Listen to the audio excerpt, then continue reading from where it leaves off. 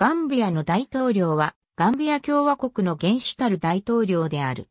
ガンビアは1965年に独立とファリマング、ママディシンガティックしたが、1970年まではイギリスの国王を元首とする英連邦王国であった。ここでは英連邦王国から脱し、共和制を敷いて大統領を国家元首と定めた1970年4月24日からの大統領を記す。軍事政権の長が国家元首を兼ねた期間があるが、それもまとめて一覧に記した。大統領は国民の直接選挙で選出される。任期は5年で再選制限はない。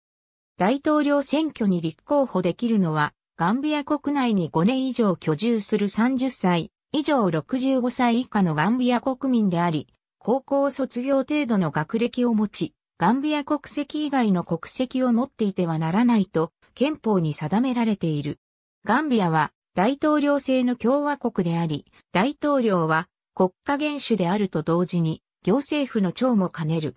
副大統領や閣僚の任命権、軍の最高指揮権などを行使し、実質的に国政を主導する役割を担う。また、国民議会の定数53議席のうち5議席は大統領による任命枠となっている。ありがとうございます。